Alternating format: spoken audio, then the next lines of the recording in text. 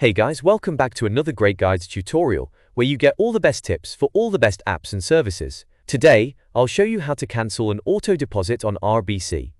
First, open the RBC mobile app, or log in to your RBC online banking account. Once you're in, navigate to the main menu and select the Interac e-Transfer option. From there, locate the Manage Auto Deposit section, which shows a list of email addresses or phone numbers linked to auto deposits. Select the auto deposit you want to cancel by clicking on the associated email or phone number. Next, you'll see an option to either edit or delete the auto deposit. Choose the Delete option to cancel it. Confirm your choice when prompted, and RBC will process the cancellation.